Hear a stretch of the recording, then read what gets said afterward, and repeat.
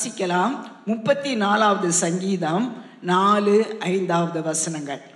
நான் கர்த்தரை தேடினேன். நான் கர்த்தரை தேடினேன். அவர் எனக்கு செவி கொடுத்து எனக்கு செவி கொடுத்து என்னுடைய எல்லா பயத்துக்கும் என்னுடைய எல்லா பயத்துக்கும் என்னை நீங்களாக்கி விட்டார். நீங்களாக்கி விட்டார். அவர்கள் அவரை நோக்கி பார்த்து பிரகாசம் அடைந்தார்கள். அவரை நோக்கி பார்த்து பிரகாசம் அடைந்தார்கள். அவர்கள் முகங்கள் வெட்கப்படவில்லை. அவர்கள் முகங்கள் வெட்கப்படவில்லை. கர்த்தருடைய பரிசுத்த நாமத்துக்கு சோத்திரம். ஜெபம் பண்ணினால் நிச்சயமாகவே ஜெயம்தான் வரும். ஜெபம் என்பது இந்த இடத்தில் வாசிக்கிறது போல கர்த்தரை தேடுகிறது. கர்த்தரை தேடினேன் அவர் என்னுடைய சத்தத்துக்கு அவர் செவி கொடுத்து எல்லா பயத்துக்கும் என்னை நீங்களாக்கி மீட்டார். அதே போல அவர்கள் அவரை நோக்கி பார்த்து பிரகாசம் அடைந்தார்கள். ஜெபம் என்பது அவரை தேடுகிறது. ஜெபம் என்பது அவருடைய முகத்தை நோக்கி பார்க்கிறது. நம்முடைய வாழ்க்கையில் அநேக சமயங்களில் பலவிதமான போராட்டங்கள் வரும். சில சமயங்களில் வியாதி வரும். சில சமயங்களில் நம்முடைய பிஸ்னஸில் வித்தியாசமான சூழ்நிலைகள் வரும். கடன் தொல்லைகள் கடன் வாங்கக்கூடிய சூழ்நிலைகள் குடும்பங்கள் நடுவில் வரும். ஆனால் அந்த சூழ்நிலைகளில் நம்முடைய மனசு யாரை தேடுகிறது? கடன் வந்த உடனே பொருளாதார தேவை வந்த உடனே எந்த பேங்க் எவ்வளவு லோன் கொடுக்கிறார்கள்? அல்லது யாராவது கடன் கொடுப்பார்களா என்று யோசிக்கக்கூடிய சூழ்நிலையா? வியாதி வந்த உடனே இந்த நாட்களில் சென்னை பட்டணத்தை பொறுத்த அளவிற்கு எல்லா தனித்தனியான வியாதிக்கும் தனித்தனியான ஸ்பெஷலிஸ்ட் இருக்கிறாங்க. அங்கே போகலாமா இங்கே போகலாமா? என்ன செய்யலாம்? ஒருவேளை வியாதி வரும்போது டாக்டர்கிட்ட போனால் தப்பு நான் சொல்லலை. ஆனால் நம்முடைய இருதயம் அவரை தேடணும். ஹலெலுயா குடும்பமாக அவரை தேடணும். இப்பொழுது நம்முடைய தேசத்தின் நிலைமையில பார்க்கும்போது சபையாக அவரை தேடும்போது நிச்சயமாகவே நமக்காக யுத்தம் பண்ணுகிற நமக்காக எல்லாவற்றை செய்து முடிக்கிற ஒரு தேவன் உயிரோடு கூட இருக்கிறார். ஹலெலுயா ஆனால் நிறைய சந்தர்ப்பங்களில் கடைசி பகுதியாக ஆண்டவரை தேடுகிறத வைப்பாங்க. ஆனால் முதலாவது ஆண்டவரை தேடி பாருங்க. அவர் ஆலோசனை கொடுப்பார் அவர் வெற்றி கொடுப்பார். நிச்சயமாகவே நம்முடைய குடும்பங்களில் கர்த்த நம்முடைய ஜபங்களின் மூலமாக அவர் ஜெயத்தை கொடுக்கிற தேவன். ஹலெலூயா ஆண்டவரை விசுவாசிக்கிற நமக்கு தோல்வியே கிடையாது. விசுவாசிக்கிறீங்களா? ஹalleluya ஏனென்று சொன்னால் ஜெய கம்பீரமானவர் நம்மோடு கூட இருக்கிறார். ஜெயத்தை கொடுக்கிற ஆண்டவர் நம்மோடு கூட இருக்கிறார். அவர் நடத்துவார். ஆகையால் அவரை தேடின ஒரு சந்தர்ப்பத்தை குறித்து சூழ்நிலை குறித்து வேதத்தில் இந்த பார்க்கலாம். ரெண்டு நாளாகவும் இருபதாவது அதிகாரம் ஒன்று முதல் நாலு வசனம். இதற்கு பின்பு மோவாப் புத்திரரும் மோவா புத்திரரும் அம்மோன் புத்திரரும். அம்மோன் புத்திரரும். அவர்களோடு அம்மோனியருக்கு அப்புறத்தில் உள்ள அவர்களோடே அம்மோனியருக்கு அப்புறத்தில் உள்ள மனுஷரும் கூட மனுஷரும் கூட யோசபாத்திற்கு விரோதமாய் யுத்தம் பண்ண வந்தார்கள். விரோதமாய் யுத்தம் பண்ண வந்தார்கள். சிலர் வந்து யோசபாத்தை நோக்கி யோசபாத்தை நோக்கி உமக்கு விரோதமாய் உமக்கு விரோதமாய் ஏராளமான ஜனங்கள் ஏராளமான ஜனங்கள் கடலுக்கு அக்கறையில் இருக்கிற சீரியாவிலிருந்து வருகிறார்கள். அக்கறையில் இருக்கிற சீரியாவில் இருந்து வருகிறார்கள். இதோ. அவர்கள் எங்கேதியாகிய ஆசா சோசான் தாமாரில் இருக்கிறார்கள் என்று அறிவித்தார்கள். அப்பொழுது யோசபாத் பயந்து அப்பொழுது யோசபாத் பயந்து கர்த்தரை தேடுகிறதுக்கு ஒருமுகப்பட்டு தேடுவதற்கு ஒருமனப்பட்டு யூதாவெங்கும் உபவாசத்தை கூறுவித்தார் யூதாவெங்க உபவாசத்தை கூறுவித்தான் அப்படியே யூதா ஜனங்கள் அப்படியே யூதா ஜனங்கள் கர்த்தரிடத்திலே சகாயம் தேட கூடினார்கள். சகாயம் தேட கூடினார்கள். யூதாவில் உள்ள எல்லா பட்டணங்களிலும் யூதாவில் உள்ள எல்லா பட்டணங்களிலும் இருந்து அவர்கள் கர்த்தரை தேட வந்தார்கள். அவர்கள் கர்த்தரை தேட தேட வந்தார்கள். இந்த சூழ்நிலையிலே யோசபாத் ராஜாவாக இருக்கும்போது அவருக்கு விரோதமாக அம்மோனியர் மோவாபியர் கூட்டத்தார் வந்து எதிர்த்து நிற்கிறார்கள். எதிர்த்து நின்று பயங்கரமான போராட்டத்தின் நடுவில் இருக்கும்போது ஒரு சிலர் வந்து சொல்றாங்க கடற்கரைக்கு அந்த பக்கத்துல இன்னும் ஒரு பெரிய திரளான கூட்டம் இருக்குது. சில சமயங்கள் அப்படிதான். நம்ம ஏற்கனவே நெருக்கத்துக்குள்ள இருக்கும்போது மற்றவர்கள் வந்து இன்னும் ரெண்டு மூன்று நெருக்கங்கள் எங்க இருக்குதோ அதையும் நமக்கு சொல்லுவார்கள். சொல்லுகிற சமயத்துல நம்முடைய இருதயம் என்ன செய்யும்? பயப்படும். இருதயம் பயப்பட்ட சமயத்தில் இந்த யோசபாத் என்ன செய்தார் என்று சொன்னால் எல்லாரும் கர்த்தரை தேடலாம். நம்ம ஆண்டவருக்கு மாத்திரம்தான் நம்முடைய பாஸ் நம்முடைய பிற்காலமும் தெரியும். இப்போ என்ன நடந்து கொண்டு இருக்கிறது என்று தெரியும். இனிமேல் என்ன நடக்கப் போகிறது என்று தெரியும். எந்த கூட்டத்தார் எப்படி வருகிறார்கள் எந்த வழியின் வழியாக வருகிறார்கள் எப்படி இந்த யுத்தத்தை செய்ய வேண்டும் என்று எல்லாவற்றையும் அறிந்த ஆண்டவர் அவரை தேடலாம். ஒரு ராஜா தன்னுடைய ஜனத்துக்கு போர் சேவகர்களையும் படைத்தளத்தையும் அதிகரிக்கிறதுக்கு பதிலாக அவர் என்ன செய்தார்? ஜீவனுள்ள தேவனை அவர் தேட ஆரம்பித்தார். தேடி அவர் சொன்னார் நான் மாத்திரம் அல்ல எல்லாரும் கடந்து வந்து ஆண்டவரிடத்துல என்ன செய்யணும்? சகாயம் தேட கூடினார்கள். லூயா இப்போ நமக்கு சுற்றிலும் நமக்கு விரோதமாய் நம்முடைய தனிப்பட்ட குடும்பத்துக்கு விரோதமாக ஏதோ அந்நிய தேசங்களிலிருந்து யுத்தம் வரல. ஆனால் அநேகர் யுத்தத்தின் வழியாக போராட்டத்தின் வழியாக நம்முடைய குடும்பங்களில் கடந்து சென்று கொண்டு இருக்கிறோம் ஒருவேளை பொருளாதார தேவையாக இருக்கலாம் சரீர பலவீனங்களாக இருக்கலாம். சில சமயங்களில் தங்களுடைய சொந்த குடும்பத்தாரே எதிர்த்து நிற்கிற சூழ்நிலையாக இருக்கலாம். நமக்கு விரோதமாக கேஸ்கள் போட்டு இருக்கலாம். நமக்கு விரோதமாக எதிரிகள் எழும்பி இருக்கலாம். எதிர்பார்க்காத சந்தர்ப்பங்களில் நம்முடைய குடும்பங்களிலோ தனிப்பட்ட வாழ்க்கையிலோ நம்முடைய பிஸ்னஸ்களிலோ போராட்டங்கள் வரும்போது நம்ம செய்ய வேண்டியது ஆண்டவரிடத்தில் சகாயம் தேட ஆண்டவரை தேட வேண்டும். அதனால் தான் தாவீது ராஜா சொல்கிறார் நான் பயப்படுகிற நாளில் கர்த்தரையே நம்புவேன். ஹலெலுயா அவர் எகவா நிசி. நமக்காக எல்லாவற்றையும் செய்து முடிக்கிறவர் நம்முடைய வாழ்க்கையை அவருடைய கரத்தில் இருக்கிறபடியினால் அவருடைய சகாயத்தை தேடும்போது கர்த்தர் அற்புதத்தை செய்வார் ஜெயத்தை கொடுப்பார். இந்த அதிகாரத்தை ரெண்டு நாளாகவும் இருபதாவது அதிகாரம் ஆறாவது வசனம் இந்த யோசபாத் ராஜாவினுடைய ஜெபம். எப்படி ஜெபிக்கிறார்? எங்கள் பிதாக்களின் தேவனாகிய கர்த்தாவே எங்கள் பிதாக்களின் தேவனாகிய கர்த்தாவே பரலோகத்தில் இருக்கிற நீர் அல்லவோ தேவன்? பரலோகத்தில் இருக்கிற நீர் அல்லவோ தேவன்? தேவரீர் ஜாதிகளுடைய ராஜ்யங்களை எல்லாம் ஆளுகிறவர். தேவரி ஜாதிகளுடைய ராஜ்யங்களை எல்லாம் ஆளுகிறவர். உம்முடைய கரத்திலே வல்லமையும் கரத்திலே வல்லமையும் பராக்கிரமும் இருக்கிறது. பராக்கிரமம் இருக்கிறது. ஒருவரும் உம்மோடு எதிர்த்து நிற்க கூடாது ஒருவரும் உம்மோடு எதிர்த்து நிற்க கூடாது அருமையான தேவனுடைய பிள்ளைகளை இந்த இடத்துல சபையில் கூடி வந்திருக்கிற நாம் ஒவ்வொருவரும் நம்ம ஜெபிக்கிற தெய்வம் யார் என்ற அறிவு நமக்கு வேணும். ஹalleluya நம்ம ஆண்டவர் சின்ன ஒரு உருவம் அல்ல. நம்ம ஆண்டவர் ஜீவன் உள்ளவர் நம்முடைய ஆண்டவர் எல்லாவற்றையும் ஆளுகிறவர். நம்முடைய தேசத்திலும் ஆளுகை ஒன்று இருக்கிறது. ஆனால் சபையாகிய நாம் எல்லாரும் ஆண்டவரே வல்லமையும் ஆண்டவரே பராக்கிரமமும் உம்முடைய கரத்தில் தான் இருக்கிறது. எங்கள் தேசத்தை ஆளுகை செய்யும் என்று சொல்லி நம்ம ஜெபிக்க ஆரம்பித்தால் நிச்சயமாகவே நம்முடைய தேசத்தின் நடுவில் ஒரு பெரிய மாறுதல் உண்டாகும். ஹalleluya ஜெபிக்கிற நமக்கு ஆண்டவரை பற்றிய அறிவு வேணும். இவர் எழுதுகிறார் பரலோகத்தில் இருக்கிற நீர் அல்லவா கர்த்த பரலோகத்தில் இருக்கிறவர் வானமும் பூமியும் அவருடைய கரத்தில் இருக்கிறது. அவர் எல்லாவற்றையும் ஆளுகிறவர். ஜாதிகளுடைய ராஜ்யங்களை ஆளுகிறவர். அவர் அழகாய் ஜோமன்றார் உம்முடைய கரத்தில் தான் என்ன இருக்கு ஆண்டவரே? வல்லமையும் பராக்கிரமமும் இருக்கிறது. அவரால் முடியாத காரியம் ஒன்றுமில்லை. இந்த இடத்துக்கு வந்திருக்கிற நமக்கு ஜெபிக்கிற தெய்வம் யார் என்று சொல்லி அறிவு வேணும். அந்த அறிவு நமக்கு இருந்தால் நம்ம எப்படி இருப்போம் தெரியுமா? ஜெபிக்கிறதுல நல்லா வல் நல்லா தேறினவர்களாய் மாறும். இந்த அறிவு எங்கிருந்து வரும்? இந்த வேதத்தை வாசிக்க வாசிக்க தான் அந்த அறிவு நாம் ஆராதிக்கிற தேவன் யார்? அவர் எப்படி கிரியை செய்வார்? அவர் எப்படியாக நமக்கு உதவி செய்வார்? என்று சொல்லி அறிவு வரும். ஆகையால் வேதத்தையும் வாசிக்கணும்.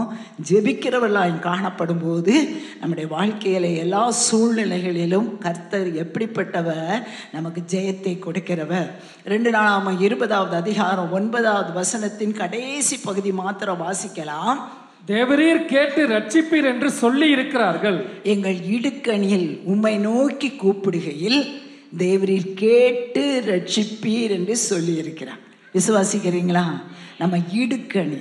ஹலெலூயா யார் யாரெல்லாம் உங்களுடைய வாழ்க்கையில் நெருக்கத்தின் வழியில் இருக்கிறீர்களோ அந்த இடுக்கணியில் கர்த்தரை நோக்கி கூப்பிடுகையில் கூப்பிடுகையில் நம்முடைய ஆண்டவர் யாரு? நமக்கு உத்தரவு அருளி செய்கிற தேவன். நமக்கு அவரை பற்றி அறிகிற அறிவும் வேணும். அவர் எப்படியாக கிரியை செய்வார்? அவர் என்ன வாக்குத்தத்தத்தை கொடுத்திருக்கிறார்? நம்முடைய ஆண்டவர் பொய் சொல்ல மனிதன் அல்ல மனமாற மனுபுத்திரன் அல்ல. ஆண்டவர் சமூகத்தினுடைய சூழ்நிலை நடுவில் நம்ம ஒரு வசனத்தை பிடிச்சுக்கிடணும். நான் என்னுடைய வாழ்க்கையில அனுபவம் அதுதான். எந்த சூழ்நிலை நெருக்கத்தில் இருக்கும்போதும் ஆண்டவரே எனக்கு ஒரு வசனம் தாரும். ஏனென்று சொன்னால் நமக்கு ஜெபம் பண்ணுவதற்கு நமக்கு தெரியாது. ஆகையால் தான் சீஷர்கள் வந்து இயேசுவினிடத்தை கேட்டாங்க. இயேசுவே ஜெபம் பண்ண கற்றுத்தாரும் இந்த சூழ்நிலைக்கு நான் எப்படி ஜெபம் பண்ணணும்? நம்முடைய பிள்ளைகளுக்காக எப்படி ஜெபம் பண்ணணும்? நம்முடைய குடும்பத்தின் தேவைக்காக சபையின் காரியங்களுக்காக நம்முடைய போராட்டங்கள் வரும்போது எப்படி ஜெபிக்கணும்னு சொல்லும்போது ஆண்டவர் என்ன செய்வார் தெரியுமா? இந்த வேதத்தில் இந்த வசனத்தை கொடுப்பான் சூழ்நிலைகளில போராட்டங்கள் வரும்போது ஆண்டவர் சமூகத்தண்டை அவரை பற்றி அறிந்து கொள்ளுங்கள். அவருடைய வசனத்தை சொல்லி ஜெபம் பண்ணுங்கள். அப்பொழுது ஆண்டவர் நமக்காக யுத்தம் பண்ணி ஜெயத்தை கொடுப்பார். பன்னிரெண்டாவது வசனத்தை வாசிக்கலாம். அதே அதிகாரம் பன்னிரெண்டாம் வசனம். எங்கள் தேவனே எங்கள் தேவனே அவர்களை நீர் நியாயம் தீர்க்க மாட்டீரோ? தீர்க்க மாட்டீரோ? எங்களுக்கு விரோதமாக வந்த எங்களுக்கு விரோதமாக வந்த இந்த ஏராளமான கூட்டத்திற்கு முன்பாக நிற்க கூட்டத்திற்கு முன்பாக நிற்க எங்களுக்கு பலன் எங்களுக்கு பலன் இல்லை. நாங்கள் செய்ய வேண்டியது இன்னதென்று. நாங்கள் செய்ய வேண்டியது இன்னதென்று எங்களுக்கு தெரியவில்லை. எங்களுக்கு தெரியவில்லை. ஆகையால் ஆகையால் எங்கள் கண்கள் எங்கள் கண்கள் உண்மையே நோக்கி கொண்டிருக்கிறது நோக்கி கொண்டிருக்கிறது. ஜெபம் என்று சொன்னால் ஆண்டோடைய முகத்தை நோக்கி பார்க்கிறது தான் ஜெபம். ஜெபம் என்று சொன்னால் அவரிடத்திலிருந்து சகாயம் தேடுகிறது தான் ஜெபம். அவரை தேடணும். அவருடைய முகத்தை நோக்கி பார்த்து கொண்டிருக்கணும். சில சூழ்நிலைகளில் நம்மால் ஒன்றும் செய்ய முடியாது. ஆண்டவரே எங்களால் ஒரு காரியத்தை சாதிக்க முடியாது. ஆனால் உண்மையே நாங்கள் நோக்கி பார்த்து கொண்டிருக்கிறோம் என்று சொல்லி ஆண்டவரை நோக்கி பார்க்கிறதும் ஜபந்தான் மனுஷர்களை அல்ல மனுஷருடைய கரங்களை அல்ல நமக்கு இருக்கிற பண திறமைகளை அல்ல நமக்கு இருக்கிற ஃபேவர் அல்ல. நமக்கு பலவிதமான ஒரு சூழ்நிலைக்குள்ள வரும்போது நிறைய பேர் வந்து நம்மகிட்ட என்ன செய்வாங்க தெரியுமா? ஆலோசனை கொடுப்பாங்க. எனக்கு தெரியும். எத்தனையோ சூழ்நிலையில் அநேகர் வந்து அவங்கள போய் பாருங்க இவங்கள போய் பாருங்க இந்த கேஸை போடுங்க இது நமக்குரிய காரியம் இப்படி செய்யுங்க. பலர் பல காரியத்தை சொல்லுவாங்க. ஆனால் நம்முடைய கண்களோ அவரையே நோக்கி கொண்டிருக்கணும். லூயா அவரை நோக்கி கொண்டிருக்கும் போது ஆண்டவர் அந்த ஜனத்தோடு கூட பேசுகிறார். எப்படி பேசுகிறார்? இந்த யுத்தம் உங்களுடையது அல்ல. இந்த யுத்தம் என்னுடையது. நீங்கள் சும்மா இருங்கள். நான் உங்களுக்காக யுத்தம் பண்ணுவேன். ஜெபிக்கிற நமக்கு ஒரு காரியம்தான் செய்ய தெரியாது. என்ன காரியம் என்று சொன்னால் சும்மா இருக்கிறதுக்கு தெரியாது. ஆண்டவர் எதிர்பார்க்கிற காரியம் நான் யுத்தம் பண்ணிக்கிறபடி நான் நீங்கள் சும்மா இருங்கள்.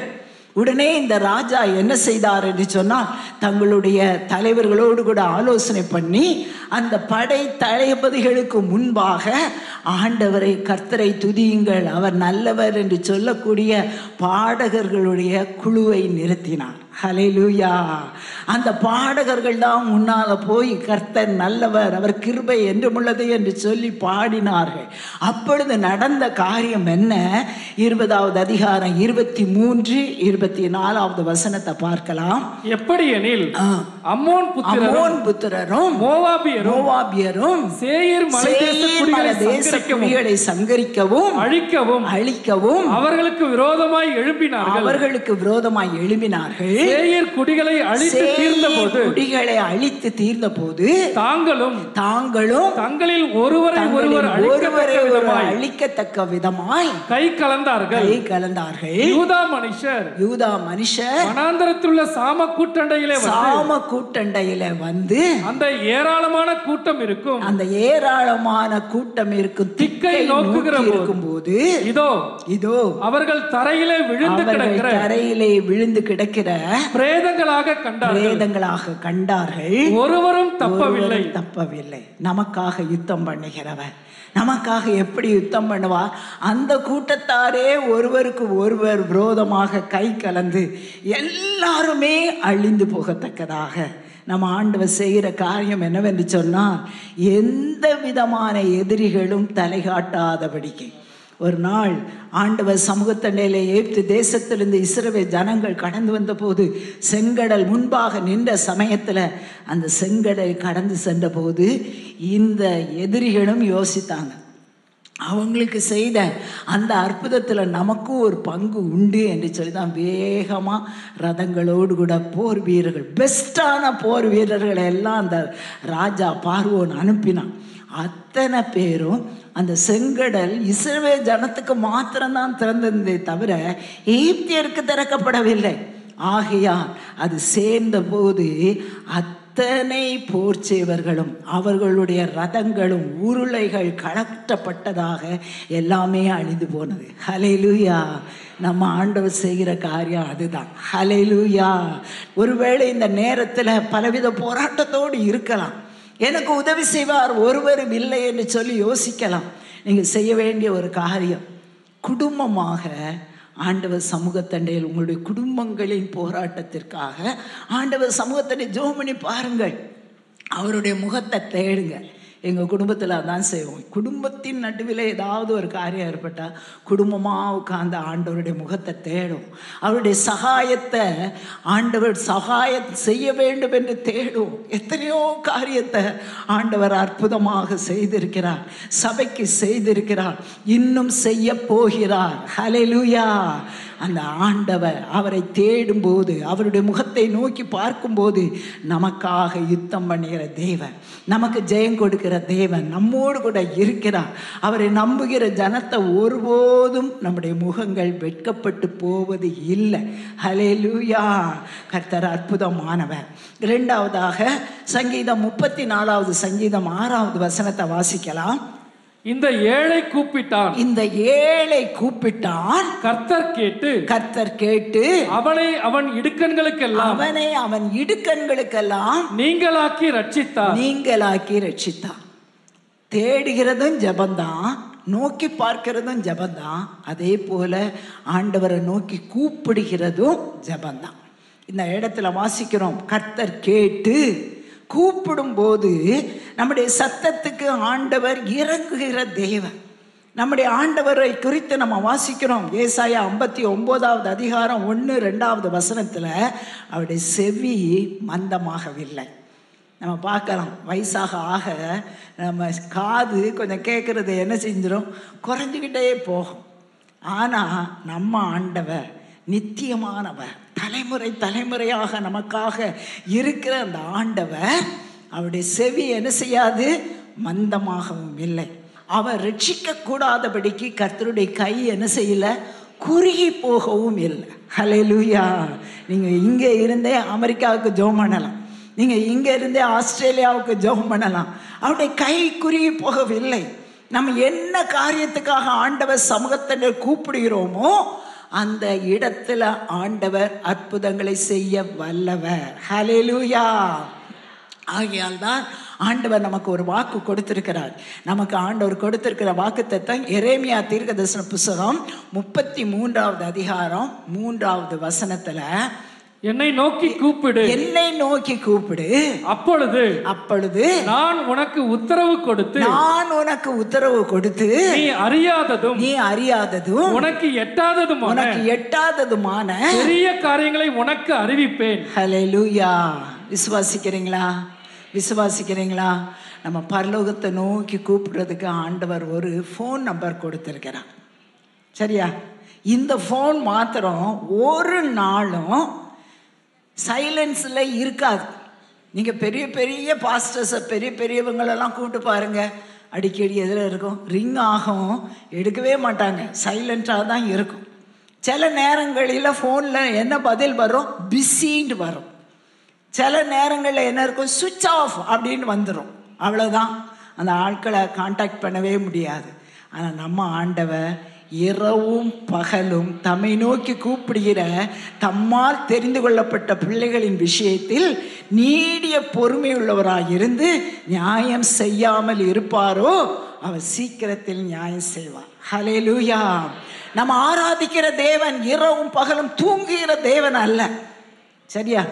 ஆண்டவர் மாத்திரம் தான் சொல்கிறார் சில சமயங்களில் பெரிய பெரிய பணக்காரங்க பெரிய பெரிய இன்ஃப்ளூயன்ஸியாக இருக்கிறவங்கெல்லாம் அவங்க சொல்லிடுவாங்க என்னை வந்து அடிக்கடி தொந்தரவு பண்ணாத. சொல்லிட்டல அவ்வளவுதான் சொல்ல ஆனால் ஆண்டவர் மாத்திரம் ஒரு விதவையான ஒரு ஸ்திரீ மனுஷனை மதியாத ஒரு நியாயாதிபதி இடத்துல போய் அடிக்கடி தொந்தரவு செய்து எனக்கும் எதிராளிக்கும் இருக்கிற வழக்கில் ஒரு நியாயம் தீர்க்கணும்.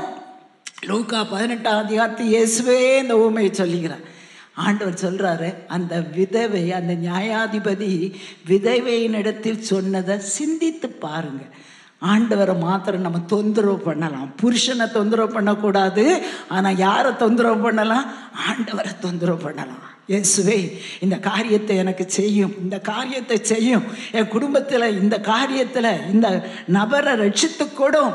இந்த குடிகாரத்தில் இருந்து குட்டியின் அடிமைத்தனத்தை விடுதலை ஆக்கும். முரட்டாட்டமான என் பிள்ளைகளை மாற்றி தாரும். கீழ்ப்படியாத என் பிள்ளைகளை மாற்றி தாரும். எங்களுக்காக ஒரு கதவை திறக்கணும். திருமண காரியத்தை ஒழுங்கு பண்ணி தாரும். வேலை வாய்ப்புகளை கட்டளையிடும். பிள்ளைகளுக்காக ஆண்டவர் சமூகத்தண்டையில் முழங்கால் படியிட்டு இந்த படிக்கிற காலங்களில் முழங்கால் படியிட்டு ஜெபம் பண்ணி பாருங்க. ஆண்டவர் சொல்ற என்னை நோக்கி கூப்பிடு. அவர் நல்லவர். கூப்பிடும்போது நம்ம சத்தத்தை கேட்கிறவர். அவர் கூப்பிடும்போது அவர் சொல்லியிருக்கிறார் என்னை நோக்கி கூப்பிடு நான் உனக்கு பதில் கொடுத்து. இந்த நாட்களில் பார்ப்போம் நம்ம பிள்ளைங்களையே பேர் சொல்லி கூப்பிட்டா கூட வரமாட்டாங்க. ஆனால் ஆண்டவர் சொல்கிறார் நான் உனக்கு பதில் கொடுத்து நீ அறியாததும் எட்டாததுமான பெரிய காரியத்தை அறிவிப்பேன். விசுவாசிக்கிறீங்களா? விசுவாசிக்கிறீங்களா?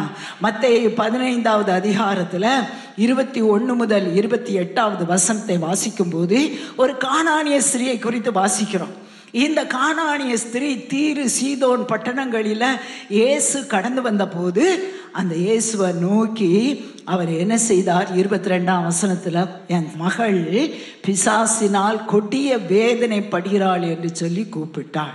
இருபத்தி மூன்றாவது வசனத்தை வாசிக்கும்போது இயேசு அவளுக்கு பிரதித்திரம் ஒன்றும் சொல்லலை. ஆனால் அவருடைய சீஷர்கள் வந்து இவள் நம்மை பின்தொடர்ந்து கூப்பிடுகிறாளே இவளை அனுப்பிவிடும் என்று அவரை வேண்டிக் கொண்டார் இயேசு பதில் கொடுக்காத சந்தர்ப்பத்திலும் இவன் என்ன செய்கிறான் தொடர்ந்து கூப்பிட்டுக்கிட்டே இருக்கிறான் இருபத்தி ஐந்தாவது வசனத்தில் வாசிக்கிறோம். அவள் ஆண்டவர் சொல்றார் இஸ்ரவேல் வீட்டாருக்கு தான் வந்தேன்.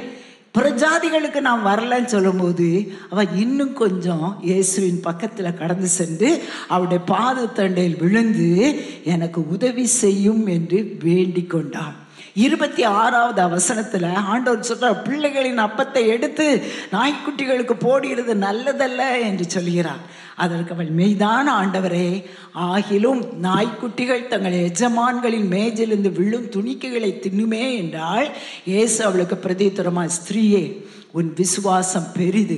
நீ விரும்புகிறபடி உனக்கு ஆக கிடவது என்றால் அந்நேரமே அவள் மகள் ஆரோக்கியமானாள். இந்த சூழ்நிலையிலிருந்து கற்றுக்கொள்ள வேண்டிய காரியம் என்னவென்றால் ஏதோ ஒரு காரியத்துக்காக ஜெபம் பண்ண ஆரம்பிச்சா அந்த ஜெபத்துக்கு பதில் வரும் வரைக்கும் அவரை நோக்கி கூப்பிட்டு கொண்டே இருக்கணும். ஹலே லூயா உங்கள் குடும்பத்தில் ரட்சிக்கப்படாதவர்கள் பின்வாங்கி போனவர்கள் உங்கள் குடும்பங்களில் உள்ள பிரச்சனைக்காக ஜோம் பண்ண ஆரம்பித்தா தொடர்ந்து கூப்பிட்டு கொண்டே இருக்கணும். ஹலே லூயா சில சமயங்களில் உடனே பதில் வராது.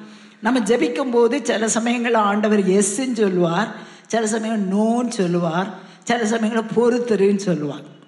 ஆனால் பதில் கிடைக்கும் வரைக்கும் அவரை தொடர்ந்து கூப்பிட்டு கொண்டே இருக்கணும். அப்ப ஏசு அவளை பார்த்து சொல்லுகிறார் நான் இஸ்ரவேல் வீட்டாருக்கு தான் வந்தேன். பிரஜாதிகளுக்கு வரலன்னு சொல்றான். ஆனாலும் அவன் என்ன செய்றா இன்னும் கொஞ்சம் கிட்ட நெருங்கி வந்து அவளோட பாதத்தை பிடித்து கொண்டு அவளை அவரை ஒர்ஷிப் பண்ணுகிறார் நீதான் தெய்வ ஆண்டவரே. உண்மை அல்லாதபடி என்னால் ஒன்றும் முடியாது என்று சொல்லி அவரை ஆராதிக்கிறான். அதுக்கு பிறகு ஆண்டவர் சொல்றாரு நாயின்னு சொல்றார் நாய்க்குட்டின்னு சொல்றார். அதுக்கும் அவர் அவ என்ன செய்யல? கவலையே படலை. ஆண்டவரே மேஜிலிருந்து விழும் துணிக்க எனக்கு போதும். ஆண்டவர் சமூகத்தண்டையில் எந்த காரியத்துக்காக ஜோமனை பண்ண ஆரம்பிக்கிறீங்களோ அந்த ஜெபத்திற்கு பதில் கிடைக்கும் வரைக்கும் விசுவாசத்தை விட்டுறாதீங்க. ஆண்டவரை நோக்கி பாருங்க. அவரால் தான் முடியும். நம்முடைய குடும்பத்தில் ஒரு மாறுதல் வரணுமா? நம்முடைய குடும்பத்தின் சூழ்நிலை மாறணுமா? நம்முடைய தேசத்தின் சூழ்நிலை மாறணுமா? வேற வழியே கிடையாது. அவரை நோக்கி பார்த்து அவரை நோக்கி கூப்பிடும்போது கர்த்தர் நமக்கு நிச்சயமாய் பதில் கொடுப்பார். ஆகியால் தான் லூக்கா பதினொன்றாம் அதிகாரத்தில் ஆண்டவர் ஒரு ஒரு ஓமையை சொல்லுகிறார். ஒரு நண்பன் நடு ராத்திரியில் இன்னொரு நண்பனுடைய வீட்டுக்கு வந்தபடினா அவருக்கு முன்னால் வைக்கிறதுக்கு என்ன அப்பம் இல்லை. அப்போ தன்னுடைய நண்பருடைய வீட்டுக்கு போய் அவருக்கு தெரியும். இந்த நண்பருடைய வீட்டில் தான் எக்ஸ்ட்ரா பிரெட்டு இருக்குதுன்னு அவருக்கு தெரியும். அதனால் அங்கே போய் கதவை தட்டுறான். உள்ளுக்கு இருந்த ஒரு சத்தம் கேட்குது நான் படுத்துட்டேன். பிள்ளைகளோடு கூட படுத்துட்டேன். நான் எழும்பி உனக்கு அப்பம் கொடுக்க முடியாது. அப்பம் இருக்குது ஆனால் அப்பம் கொடுக்க முடியாது. இவர் விடலை. கதவை தட்டி கொண்டே இருக்கிறான். கதவை தட்டி தட்டி தட்டி. அவர் கதவை திறக்கிற வரைக்கும் எனக்கு மூணு அப்பம் தாங்க. என்கிட்ட அப்பம் இல்லை மூணு அப்பம் தாங்க. நம்ம வாழ்க்கையிலும் நம்ம மற்றவங்களுக்கு கொடுக்க முடியாத அநேக சூழ்நிலைகள் இருக்கலாம்.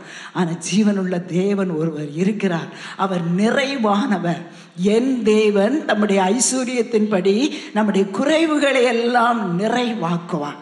அவர் நமக்காக கதவை திறக்கும் வரைக்கும் நமக்கு வேண்டிய தேவைகளை ஆண்டவர் சந்திக்கும் வரைக்கும் விடாதுங்க. அவரையே கூப்பிட்டு கொண்டு இருங்க அவரே அவருடைய கதவுகளையே தட்டி கொண்டு இருக்கும்போது கதவு திறக்கப்படும். ஹலையிலுயா நம்முடைய தேவைகள் சந்திக்கும். ஆண்டவர் சமூகத்தண்டையில் கன்சிஸ்டண்ட்டாக தொடர்ந்து விடாமுயற்சியோடு கூட ஆண்டவர் சமூகத்தினை விடாப்பிடியோடு கூட நம்ம தே- கேட்டுக்கொண்டே இருந்தா நம்மளையும் பார்த்து ஆண்டவர் சொல்லுவார் அந்த காணான ஸ்ரீயை பார்த்து சொன்னது போல மகளே உன் விசுவாசம் பெரிது. நீ விரும்புகிறபடி உனக்கு ஆக கடவுது. ஹalleluya மூன்றாவதாக நம்முடைய ஆண்டவரை நாம் தேடும்போது நம்ம என்ன செய்ய வேண்டும் என்று சொல்லி பார்க்கலாம். உபவாசத்தோடு கூட நம்முடைய வாழ்க்கையில ஜெபம் பண்ணணும். தானியேலின் புஸ்தகம் பத்தாம் அதிகாரம் ரெண்டாம் வசனம் மூணாவது வசனத்தை போடுங்க. அந்த நாட்களில் தானியலாகிய நான் அந்த நாட்களில் தானியேலாகிய நான் மூன்று வாரம் முழுவதும் மூன்று வாரம் முழுவதும் துக்கித்துக் துக்கித்துக் கொண்டிருந்தேன் அந்த மூன்று வாரங்களாகிய நாட்கள் நிறைவேறும் மட்டும். மூன்று வாரங்களாகிய நாட்கள் நிறைவேறும் மட்டும். ருசிகரமான அப்பத்தை நான் புசிக்கவும் இல்லை. ருசிகரமான அப்பத்தை நான் புசிக்கவும் இல்லை. இறைச்சியும் திராட்சை ரசமும் இறைச்சியும் திராட்சை ரசமும் என் வாய்க்குள் போகவும் இல்லை. வாய்க்குள் போகவும் இல்லை. நான் பரிமள தைலம் பூசிக்கொள்ளவும் பரிமள தைலம் பூசிக்கொள்ளவும் இல்லை. பதினொன்னு பன்னிரெண்டாவது வசனத்தை வாசிக்கலாம். அவன் என்னை நோக்கி. அவன் என்னை நோக்கி. பிரியமான புருஷனாகிய தானியேலே. பிரியமான புருஷனாகிய தானியேலே. நான் இப்போது உன்னிடத்திற்கு அனுப்பப்பட்டு வந்தேன். இப்போது உன்னிடத்திற்கு அனுப்பப்பட்டு வந்தேன். ஆதலால் ஆதலால் நான் உனக்கு சொல்லும் வார்த்தைகளின் பேரில் சொல்லும் வார்த்தைகளின் பேரில் நீ கவனமாய் இருந்து கவனமாய் இருந்து கால் ஊன்றி நில் கால். ஊன்றி நில் என்றான். இந்த வார்த்தையை அவன் என்னிடத்தில் சொல்லுகையில் இந்த வார்த்தையை அவன் என்னிடத்தில் சொல்லுகையில் நடுக்கத்தோடே எழுந்து நின்றேன். நடுக்கத்தோடு எழுந்து நின்றேன். அப்பொழுது அவன் என்னை நோக்கி அப்பொழுது என்னை நோக்கி தானியேலே தானியேலே பயப்படாதே பயப்படாதே நீ அறிவை நீ அடைகிறதற்கும் அறிவை அடைகிறதற்கும் உன்னை உன்னுடைய தேவனுக்கு முன்பாக சிறுமைப்படுத்துகிறதற்கும் உன்னை உன் தேவனுக்கு முன்பாக சிறுமைப்படுத்துவதற்கும் உன் மனதை செலுத்தின உன் மனதை செலுத்தின முதல் நாள் துவக்கி முதல் நாள் துவக்கி உன் வார்த்தைகள் கேட்கப்பட்டது வார்த்தைகள் கேட்கப்பட்டது உன் வார்த்தைகளின் நிமித்தம் நான் வார்த்தைகளின் நிமித்தம் நான் வந்தேன். நம்முடைய வாழ்க்கையில ஆண்டவர் ஜெபம் பண்ணுங்கன்னு சொல்லியிருக்கிறார். ஜெபம் பண்ண கற்றுக் கொடுத்துருக்கிறார். எல்லாருக்குமே தெரியும் ஜெபமே நம்முடைய வாழ்க்கையின் ஜெயம் என்று தெரியும். ஜெபம் என்பது ஆண்டவரை தேடுகிறது அவருடைய முகத்தை நோக்கி பார்க்கிறது அவரை நோக்கி கூப்பிடுகிறது தான் ஜெபம். இந்த ஜெபத்தை எப்படி செய்யணும்? உபவாசத்தோடு கூட ஜெபம் பண்ணுங்கள். ஏனென்று சொன்னால் இயேசுவே வாயை திறந்து சொல்லியிருக்கிறார். மத்திய பதினேழாம் அதிகாரம் இருபத்தி ஒன்றாம் வசனத்தில் இந்த ஜாதி பிசாசு உபவாசத்தினாலுமே அன்றி மற்றெவ்விதத்திலும் போகாது. சரியா? சில சமயங்களில் நம்ம குடும்பத்தில் இருக்கிற பிரச்சனைகளுக்கு காரணமான அந்த பிசாசு ஜெபத்தினாலும் உபவாசத்தினாலுமே அன்றி வேற எவ்விதத்திலும் போகாது. நம்முடைய வாழ்க்கையில் இருக்கிற எல்லா பிரச்சனைகளுக்கும் தீர்வு எங்கே இருக்குது தெரியுமா? ஆண்டவருடைய முகத்தை எப்படி நோக்கி பார்க்கணும்? உபவாசத்தோடு கூட ஆண்டவரை நோக்கி பார்க்கணும். ஃபிட்ஸ் வியாதியோடு இருந்த ஒரு இளம் வாலிபன். அப்பொழுது இந்த சீஷர்கள் எல்லாம் இயேசுவோ அவருடைய பேதர் யாக்கோபு யோவான் மூணு பேரும் மறுரூப மலையில் போய் ஜெபம் பண்ணிட்டு கீழே வரும்போது கூட்டமாக நிற்கிறாங்க அந்த தகப்பனார் வந்து சொல்றார் ஆண்டவரே சீஷர்கள் இவனை என்ன செய்ய முடியலை? இந்த அசுத்த ஆவியை துரத்த முடியலையே. அப்போ ஆண்டவர் சொல்கிறார் நான் எவ்வளோ காலம் உங்களோடு கூட இருப்பேன். எந்த காரியமும் கடுகளவு விசுவாசம் இருந்தால் இது நடக்கும் என்று சொல்லுகிறார். ஆனால் அதுக்கு பிறகு என்ன சொல்லுகிறார்? இந்த வகை பிசாசு எப்படி தான் போகும்? உபவாசத்திலும் ஜபத்தினாலும் அன்றி வேறு எவ்விதத்திலும் போகாது. விசுவாசம் வேணும். அந்த விசுவாசத்தோடு கூட எதுவும் தேவை? உபவாசமாகிய ஜபம். என்னவென்று சொன்னால் இதில் வாசித்தோம் தானியலுடைய உபவாசம். இருபத்தி ஓரு நாட்கள் அந்த தானியல் உபவாசம் பண்ணினார். தானியலின் புஸ்தகம் பத்தாம் அதிகாரம் ரெண்டு மூன்றாவது வசனத்தை வாசிக்கும்போது அவர் இருபத்தி ஓரு நாட்களுடைய அவருடைய ஜபம் எப்படி இருக்கிறது? ருசிகரமான சாப்பாட்டை ஒன்று சாப்பிடலாம் அதே போல இறைச்சோ திராட்சை ரசமோ அவர் சாப்பிடலை. அதே போல பர்ஃப்யூம் எல்லாம் அவர் போட்டுக்கல. இருபத்தி ஓரு நாட்கள் அவர் சா தேவனுடைய சமூகத்தண்டில் தன்னை சிறுமைப்படுத்துவதற்கும் ஆண்டவரை அறிகிற அறிவை அடைவதற்கும் தன்னை தாழ்த்தி கடந்து வந்தார். நான் சொல்கிறேன் நம்ம சரீரத்தில் ஒரு மாறுதல் சரீரத்தில் ஒரு சாக்ரிஃபைஸ் சரீரத்தில் ஒரு தியாகம் இருக்கும்போது பரலோகம் அசையும் ஹலேலூயா நம்ம பட்டினியாக இருந்து ஆண்டவருடைய முகத்தை தேடும்போது ஒருவேளை உபவாச ஜபம் என்று சொல்லும்போது மூன்று நேரம் உபவாசம் எடுக்கலாம். ஒரு மூணு நாள் எடுக்கலாம். அதுக்கு பிறகு மூணு நாளைக்கு மேலே தண்ணியும் சாப்பாடும் சாப்பிடாம இருக்க முடியாது. அப்படி தான் நம்முடைய சரீரம் இருக்குது. ஒருவேளை ஒரு நேரம் ஒதுக்கி ஒரு நேரம் சாப்பிடாம இருந்து ஆண்டவர் சமூகத்தனை ஜோம் பண்ணி ஒரு ஐந்து மணி நேரமாவது ஜபம் பண்ணணும். நான் பார்த்துருக்கேன் நிறைய பேர் வேலைக்கு போகிறவங்கள பார்த்துருக்குறேன். அவங்கள கேட்டால் உபவாசம் என்று சொல்லுவாங்க. ஆனால் வேலையில் போய் கம்ப்யூட்டர்லேயும் பலவிதமான வேலையும் தான் செய்து கொண்டிருப்பாங்களே தவிர ஜபம் பண்ணுறதுக்கு நேரம் இருக்காது. ஆனால் நல்ல தீர்மானம் எடுங்க. நம்முடைய சபைக்கு நாற்பது நாட்கள் உபவாச ஜப நாட்கள் வருகிறது.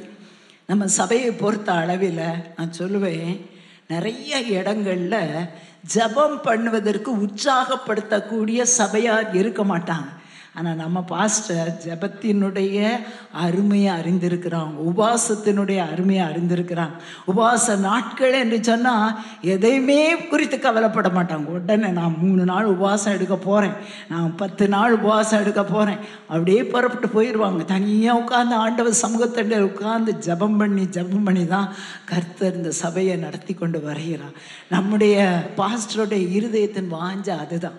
அதே போல நிறைய தேவ ஊழியர்கள் தங்களுடைய வாழ்க்கையில் ஆண்டவரோடு கூட உபவாசம் என்று சொன்னால் தனித்து ஆண்டவரோடு வாசம் பண்ணுறாங்க நம்ம உபவாசம் என்று சொல்லி சாப்பிடாம இருக்கும்போது நான் சொல்லுவேன் ஒரு ஐந்து மணி நேரமாவது ஆண்டவர் சமூகத்தண்டே நல்லா ஆண்டவரை ஆராதிக்கணும் ஜ வேதத்தை வாசிக்கணும். ஆண்டவரோடு கூட ஆண்டோடைய பிரசனத்தில் நம்ம நேரத்தை செலவழித்து ஆண்டவரோடு பேசும்போது பரலோகம் நிச்சயமாக நமக்காக அசைவாடும். ஹலைலூயா அந்த உபவாசம் நம்ம வீ நம்முடைய சரீரத்தில் உள்ள சாப்பிடாம வெறுமையாக இருக்கிற காரியம் பரலோகத்தை என்ன செய்யும் தெரியுமா? அசைக்க பண்ணும் இந்த இருபத்தி ஓரு நாட்கள் இந்த தானியல் எடுத்த உபவாசம் என்பது அவர் வந்து வெஜிடேரியன் உபவாசம். அதாவது நான்வெஜ் எல்லாம் சாப்பிடாதபடிக்கு ஆண்டவர் சமூகத்தினை தன்னை தாழ்த்தி சிறுமைப்படுத்தி ஆண்டோடைய முகத்தை தேடினார். அவர் எப்போ ஜோம் பண்ண ஆரம்பித்தாரோ அப்பொழுதே அவருக்கு என்ன வந்தது? பதில் வந்தது. எப்படி பதில் வந்தது? அவர் தேவ தூதர்களை அனுப்பினார். ஹalleluya. நம்முடைய வாழ்க்கையிலும் நம்ம உபவாசத்தோடு கூட ஜெபம் பண்ணும்போது எந்தெந்த இடத்துல கர்த்தர் கிரியை செய்யணுமோ அந்த இடத்துல கிரியை செய்வதற்கு ஆண்டவர் பணிவிடை ஆவிகளாகிய அக்னி ஜுவாலையாகவும் காற்றுகளாக இருக்கிற தேவ தூதர்களை அனுப்புவார். விசுவாசிக்கிறீங்களா? அந்த தேவ தூதர்கள் கடந்து வந்து அதற்குரிய பதிலை கொடுக்க வரும்போது அந்த பெர்சியா ராஜாவினுடைய ராஜ்ய பாரத்தினுடைய பிரபு எதிர்த்து நிற்கிறான் அந்த பிரபுனா அங்குள்ள கிங் அல்ல அந்த பெர்சிய ராஜ்யத்தை ஆளுகிற அசுத்த ஆவி ஆளுகிற அந்த சாத்தான் வந்து நிற்கிறான். அப்போ யார் வந்து யுத்தம் பண்ணிக்கிறான்னா மிகாவேல் தேவ தூதனை ஆண்டவர் சமூகத்தண்டையில் காபிரியல் தூதன் நற்செய்தியை அறிவிக்கிற தூதன் இந்த மிகாவேல் யுத்தம் பண்ணுகிற தே தூதன் அந்த மிகாவேலே வந்து அந்த பெர்சிய ராஜாவின் பிரபுக்களுக்கு அல்லது பிசாசுக்கு விரோதமாக யுத்தம் பண்ணி அந்த த- வந்து சந்திக்கிறான். அப்பொழுதுதான் ஆண்டவர் சொல்லுகிறார் பிரியமான புருஷனாகிய தானியலே ஹலை லூயா நீங்கள் உபவாசம் எடுத்து ஆண்டவரை தேடும்போது சாதாரண மனிதர்களாகி நம்மளை பார்த்து ஆண்டவர் எப்படி கூப்பிடுவார் தெரியுமா? பிரியமான மகளே பிரியமான மகனே. ஹalleluya. உபவாசம் இந்த உலகத்தையும் பரலோகத்தை இணைக்கிற ஒரு பிரிட்ஜ் ஹalleluya. அந்த உபவாச நாட்களில் நம்மை நாமே சிறுமைப்படுத்தணும் நம்மை தாழ்த்தணும் ஆண்டவருடைய முகத்தை தேடணும். என்ன காரியத்துக்காக ஜெபம் பண்ணுகிறோமோ அந்த ஜபத்தை ஆண்டவர் சமூகத்தினில் ஏறெடுத்து விசுவாசத்தோடு ஜெபம் பண்ணும்போது நான் நிச்சயமா சொல்றேன் இந்த நாற்பது நாளைக்குள்ளாக கர்த்தர் அற்புதங்களை செய்வார். லூயா இந்த நாற்பது நாட்களுக்குள்ளாக கர்த்தர் நம்முடைய குடும்பங்களில் என்ன காரியம் நடைபெறணுமோ அந்த காரியத்தை வாய்க்க பண்ணுவார். யார் யார் ரட்சிக்கப்பட வேண்டும் என்று ஜெபித்து கொண்டு இருக்கிறோமோ அந்த ஜெபத்திற்கு ஆண்டவர் பதில் கொடுப்பார். முரட்டாட்டமான பிள்ளைகளை மாற்றி கொடுப்பார். பெற்றோர்கள் விசேஷமாக பிள்ளைகளுக்காக ஜோம் பண்ணணும். பிள்ளைகளுடைய நற்காரியத்துக்காய் எதிர்காலங்களுக்காய் பிள்ளைகளுடைய திருமண காரியங்களுக்காய் பிள்ளைகளுடைய படிப்புக்காய் பிள்ளைகளுடைய நல்ல பரிசுத்தமான வாழ்க்கைக்காய் இந்த பயங்கரமான இந்த உலகத்தில் நம்முடைய பிள்ளைகள் சிக்கிக்கொள்ளாதபடிக்கு பெற்றோர்கள் தான் ஆண்டவர் சமூகத்தில் என்ன செய்யணும் தெரியுமா? ஆண்டவருடைய முகத்தை தேடணும். ஆண்டவர் சொல்கிறார் உன் பிள்ளைகளை என்னிடத்தில் ஒப்புவி நான் அவர்களை உயிரோடு காப்பேன். ஹalleluya. எப்படி ஒரு சாமுவேல சின்ன குழந்தையா இருக்கும்போதே அந்த அண்ணாள் ஆண்டவர் சமூகத்தினை ஜோம் பண்றா. எப்படி ஜோம் பண்றா? ஆண்டவரே பதினேழு வயசு வரைக்கும் காத்துக்கொள்ளும் ஜோம் பண்ணலை. நீர் கொடுத்த குழந்தை ஆண்டவரே நீர் கொடுத்த பிள்ளை. ஆகையால் இவன் உயிரோடு இருக்கும் மட்டும் உமக்கு சொந்தம். ஹலெலுயா நிறைய நேரங்களில் நாற்பத்த பிள்ளை நாற்பத்த பிள்ளை ஆண்டவர் தான் நம்ம பிள்ளை குடும்பங்களில் என்னத்தை கொடுத்துருக்கிறார்? பிள்ளைகளை கொடுத்துருக்கிறார். ஆண்டவர் கொடுத்த பிள்ளைய அவர் கரத்திலேயே கொடுத்துருங்க. எப்படி ஒரு யோவான் ஸ்நானகனை குறித்து நாம் வாசிக்கிறது போல அவன் கர்த்தருக்கு முன்பாக பெரியவனாக இருந்தான். இந்த நாட்களில் உபவாசத்தோடு ஆண்டவர் சமூகத்தண்டையில் ஜெபம் பண்ணலாம். ஜெபத்திற்கு ஆண்டவர் பதில் கொடுப்பார்.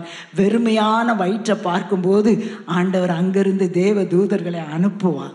ஒருவேளை நம்முடைய குடும்பங்களுக்கு விரோதமாக பிசாசின் போராட்டங்கள் இருந்தாலும் அந்த பிசாசின் போராட்டங்களை நிர்மூலமாக்குவதற்கு ஆண்டவர் தானியேலுக்கு ஒரு மிகாவேலை அனுப்பினது போல நமக்கும் அனுப்புவார். லூயா நம்முடைய வாழ்க்கையில் நம்முடைய குடும்பங்களுக்காக மாத்திரமல்ல நம்முடைய தேசத்துக்காக ஆண்டவர் சமூகத்தினை ஜோமனன் நம்ம யாத்ராமா பதினேழாவது அதிகாரத்தில் ஒரு மோசையை குறித்து வாசிக்கிறோம்.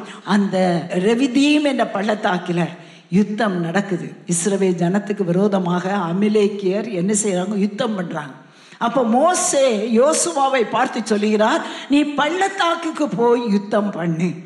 ஆனால் நானும் நான் மலை உச்சியில் தேவனுடைய கோலை என் கையில் பிடித்து கொண்டு நான் நிற்பேன் என்று சொல்கிறான் யாத்திராம் பதினேழு பதினொன்றில் மோசே தன் கையை ஏறெடுத்திருக்கையில் இஸ்ரவேலர் மேற்கொண்டார்கள்.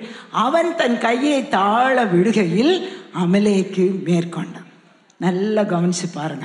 நம்ம சரீரத்தில் இந்த உலகத்தில் உள்ள சரீரத்தில் ஒரு வித்தியாசமான ஒரு ஆக்ஷன் வரும்போது பரலோகம் கிரியை செய்யுது லூயா நம்ம ஆண்டவர் நம்மை பார்க்கிற தெய்வம். இந்த மோசே கையை உயர்த்தும் போது அமிலேக்கியர் தோற்று போறாங்க. இந்த ஆ- மோசே கைகள் தளர்ந்து போன ப- அசந்து தளர்ந்து போன சமயத்தில் கீழே விழும்போது அந்த அமிலேக்கியர் மேற்கொண்டார் அப்போ யோசிப்பாருங்க பாருங்க ஆண்டவர் சமூகத்தின கைகளை உயர்த்தி ஜெபம் பண்ணுங்க. நம்மை பார்க்கிற தெய்வன் நமக்காக யுத்தம் பண்ணுவார் விசேஷமாக வாசித்து பார்க்கலாம். ஒன்று தீமோத்தேயு ரெண்டாம் அதிகாரம் எட்டாம் வசனம். அன்றியும் அன்றியும் புருஷர்கள் கோபமும் எல்லாரும் இந்த வந்திருக்கிற எல்லா புருஷர்களும் கோபமும் தர்க்கமும் இல்லாமல் இல்லாமல் பரிசுத்தமான கைகளை எப்படி ஜெபம் பண்ணணுமா? நீங்க ஜெபம் பண்ணும்போது படுத்துக்கிட்டே ஜெபம் பண்ணாதீங்க. உட்காந்துக்கிட்டே ஜெபம் பண்ணாதீங்க. முடிஞ்ச அளவுக்கு முழங்கால் படியிட்டு கையை உயர்த்துங்க. பரலோகம் பார்க்கும். ஹalleluya கைகளை உயர்த்தி எல்லா இடங்களிலும். பண்ணணுமா? எல்லா இடங்களிலும் ஜெபம் பண்ண வேண்டும் என்று விரும்புகிறேன். ஹalleluya யாத்ராம பதினேழாம் அதிகாரத்துல மோசே கையை உயர்த்தினா பரலோகம் பார்த்தது அமலேக்கு விரோதமாக ஆண்டவர் யுத்தம் பண்ணி அந்த இஸ்ரவே ஜனத்திற்கு ஒரு விடுதலை கொடுத்தார். அந்த அதிகாரத்தில் தான் வாசிக்கிறோம். அவருக்கு பலிபீடம் கட்டி அந்த பலிபீடத்தில் என்ன பெயர் விடுறாங்க? அந்த ஏ அந்த தேவனாகிய கர்த்தருக்கு ஏகோவா நிசி என்று பெயரிட்டார் ஹலே லூயா அவர் நமக்காக யுத்தம் பண்ணுகிறார். நம்ம குடும்பங்களிலும் போராட்டங்கள் வரும்போது எல்லா குடும்ப தலைவர்கள் குடும்ப தலைவிகள் கைகளை நல்லா உயர்த்தி பரலோகத்துக்கு நேராக உயர்த்துங்க. நமக்காக யுத்தம் பண்ணுகிற தேவன் ஒருவர் இருக்கிறார். நம்முடைய குடும்பங்களுக்காக மாத்திரம் அல்ல நம்முடைய சபைக்காக ஜோகம் பண்ணுங்க. நம்முடைய ஜெபம் எப்படி இருக்கிறதோ நம்முடைய உபவாச ஜெபம் எப்படி இருக்கிறதோ நம்முடைய கைகளை உயர்த்துதல் எப்படி இருக்கிறதோ அதற்கு ஏற்ற வெற்றியை நாம் காணப்போகிறோம் ஏனென்று சொன்னால் நம்ம ஆராதிக்கிற தேவன் யாரு? எகவா நிசி. நமக்காக யுத்தம் பண்ணுகிறவர் நமக்கு ஜெயத்தை வாங்கி கொடுக்கிறவர். ஆகியால் ஆண்டவர் சமூகத்தண்டையில் இந்த நாட்களில் உபவாசத்தோடு கூட ஆண்டோடைய முகத்தை தேடணும். ஆண்டவருடைய முகத்தை உபவாசத்தோடு கூட தேடும்போது உங்கள் சொந்த குடும்பத்தில் ஒரு பெரிய அற்புதம் நடக்கும். சபைக்குள்ள நடக்கும்.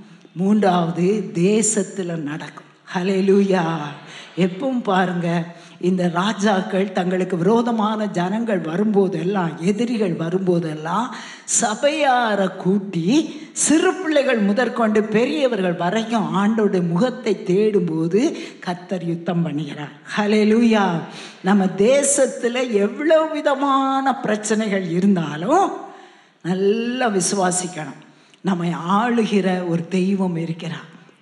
நம்ம ஆளுகிற நம்முடைய தெய்வம் நம்ம தேசத்தை ஆளணும். ஹலே லூயா நம்ம குடும்பத்தை ஆளுகிற தெய்வம் நம்முடைய தேசத்தை ஆளணும் அவருக்கு சிங்காசனம் அமைக்கணும்.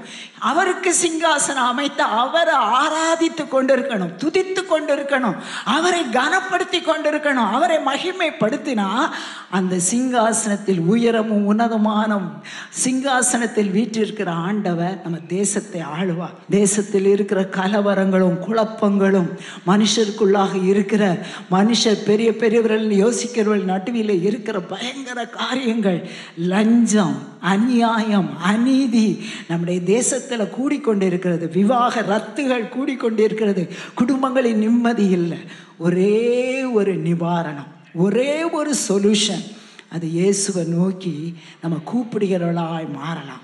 இயேசுவின் முகத்தை தேடுகிறவளாய் மாறலாம். இயேசுவை நோக்கி பார்க்கிறவளாய் மாறலாம்.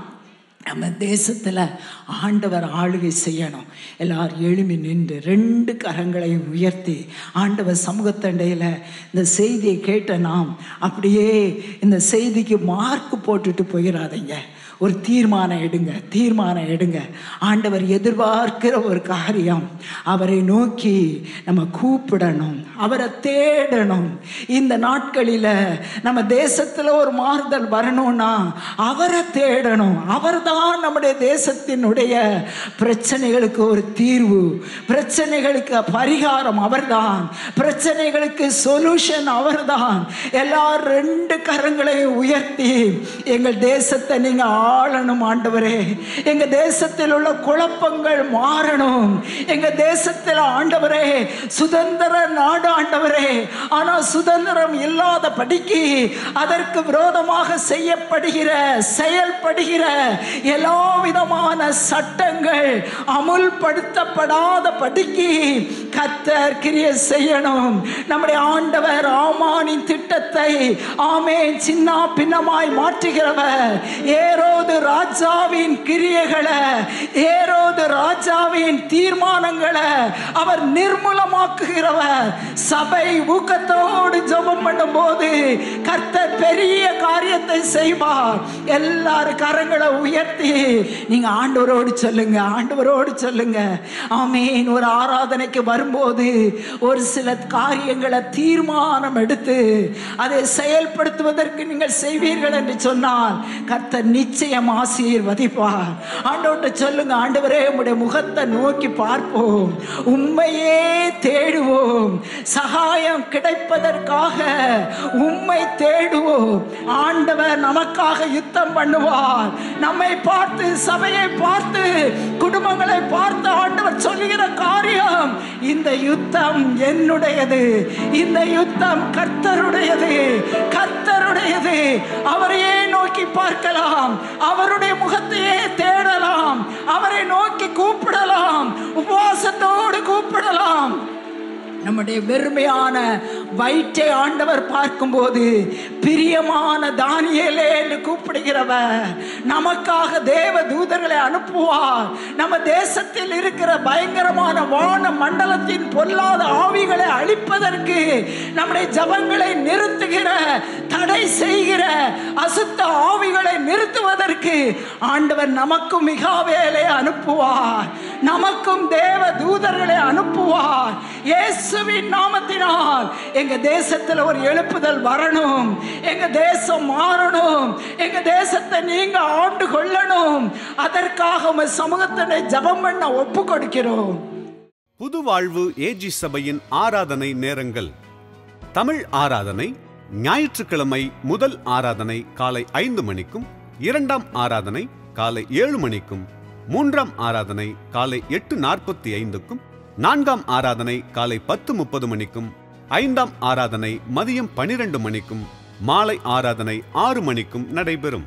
ஆங்கில ஆராதனை முதல் ஆராதனை காலை ஆறு முப்பதுக்கும் இரண்டாம் ஆராதனை காலை எட்டு பதினைந்துக்கும் மூன்றாம் ஆராதனை காலை பத்து மணிக்கும் நான்காம் ஆராதனை காலை பதினொன்று நாற்பத்தி ஐந்து மணிக்கும் மாலை ஆராதனை நான்கு முப்பது மணிக்கும் நடைபெறும். சிறுவருக்கான ஆராதனை அனைத்து ஆராதனை நேரங்களிலும் நடைபெறும். இந்தி ஆராதனை ஞாயிற்றுக்கிழமை காலை பதினொன்று முப்பது மணிக்கும் தெலுங்கு ஆராதனை ஞாயிற்றுக்கிழமை காலை ஒன்பது மணிக்கும் நடைபெறும். பெண்கள் ஆராதனை வெள்ளிக்கிழமை காலை பத்து முப்பது மணிக்கு நடைபெறும். வாலிபர்கள் சிறப்பு ஆராதனை சனிக்கிழமை மாலை ஆறு முப்பது மணிக்கு நடைபெறும். எங்கள் முகவரி எண் ஆறு அண்ணா சாலை சின்னமலை சென்னை ஆறு லட்சத்து பதினைந்து. இருபத்தி நான்கு மணி நேர தொலைபேசி எண் ஒன்பது ஒன்று நான்கு நான்கு இரண்டு இரண்டு மூன்று ஐந்து மூன்று ஐந்து மூன்று ஐந்து. நமது அனைத்து ஆராதனைகளையும் நேரடி ஒலிபரப்பாக W W W dot NLAG dot in என்ற இணையதளத்திலும் காணலாம். மேலும் எஸ்எம்எஸ் செய்ய ஒன்பது எட்டு எட்டு நான்கு ஐந்து நான்கு நான்கு பூஜ்ஜியம் பூஜ்ஜியம் பூஜ்ஜியம் என்ற எண்ணுக்கும் ஜெபம் மற்றும் ஆலோசனைக்கு hope center at NLAG dot in என்ற மெயில் ஐடிக்கு தொடர்பு கொள்ளுங்கள்.